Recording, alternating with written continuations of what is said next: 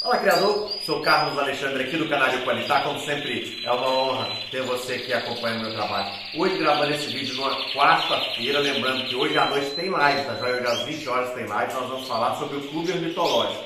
E o seguinte, aqui no dia de quarta-feira é dia de trocar essas grades. Então a moça que me ajuda aqui Hoje ela faz esse trabalho, ela retira essas grades aqui, essas grades aqui já estavam limpas, ela já limpou na semana passada, já jogou aqui um produto bactericida. E hoje ela pega e retira a grade que está suja e coloca já o outro conjunto das grades que estão limpinhas, beleza? Mas hoje eu quero falar com você sobre é, bigamia, beleza? Como que eu faço aqui? Qual seria o momento certo para fazer bigamia? Eu não vou mostrar hoje na prática, porque eu não tenho aqui, como está no início da reprodução, eu não tenho pássaros aqui já para fazer esse trabalho de bigamia, ok? Até passei ali um, um ágata é, vermelho, um agataião vermelho marfim nevado para uma outra gaiolinha aqui, mas a fêmea não começou a botar não, só porque eu achei que uma fêmea ia botar antes da outra. Mas dá uma olhadinha aqui, por favor, a gente vai começar a mostrar as gaiolas e eu vou te dar aqui mais ou menos um exemplo, tá joia? Vamos dar uma olhada aqui na gaiola essa gaiola aqui, ó, na verdade é a 12, a plaquinha está 19, mas a plaquinha é a 12. Então é o seguinte, a fêmea já está deitada no ninho, ela provavelmente ela saiu porque eu estou mexendo aqui, mas é como ela já está deitada, ela já está deitada no ninho, se eu quisesse retirar esse canário e já passar para uma outra gaiola, eu já poderia fazer isso, beleza? Já posso fazer isso. Por quê? A fêmea deitou, não tem mais necessidade do machinho ficar aí com ela. Se eu tivesse uma outra fêmea prontinha, eu poderia já transferir o macho. A mesma coisa na gaiola 15 aqui, que está com a plaquinha por, por, por, por, agora 17. Depois tem que trocar essas plaquinhas, não troquei ainda não. Ela está deitadinha. Se eu precisasse desse macho, eu já poderia é, retirar ele daqui, ok? Ela está com três ovinhos. A, a, da, gaiola, a da gaiola 12 está com três, quatro ovinhos. Dá uma, vamos olhar ali na gaiola 12 para você ver lá os ovinhos, como ela saiu, dá para a gente ver os ovinhos lá. São quatro ovinhos, ela já botou quatro ovinhos.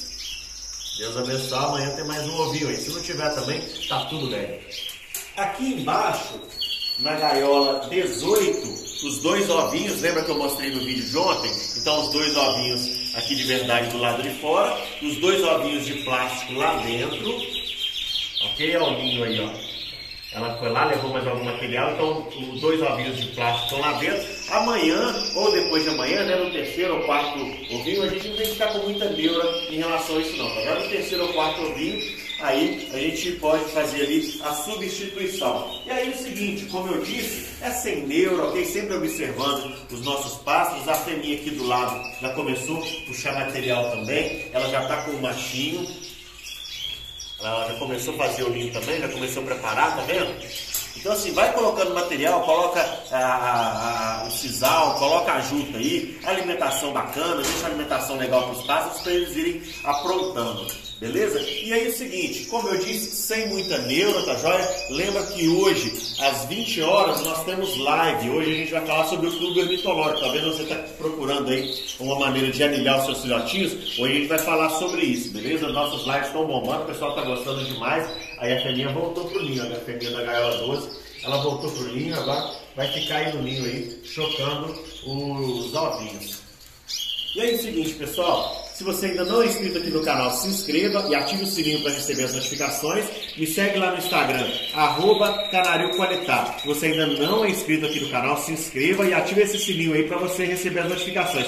E para fechar o vídeo aqui, em relação à bigamia, a fêmea deitou, você no, no terceiro, quarto ovinho, você já pode retirar o machinho, ok? Já pode passar o machinho para uma outra gaiola, caso tenha necessidade de transferir ele para uma outra feminha, tá joia? Sempre observando, porque pode acontecer de você retirar o macho, de você trocar o machinho e a feminha acabar abandonando o ninho. Então observe, se você percebeu que você tirou o machinho e a feminha abandonou o ninho, volta com o machinho para a gaiola, tá joia? Eu vou ficando por aqui, um forte abraço, fique com Deus!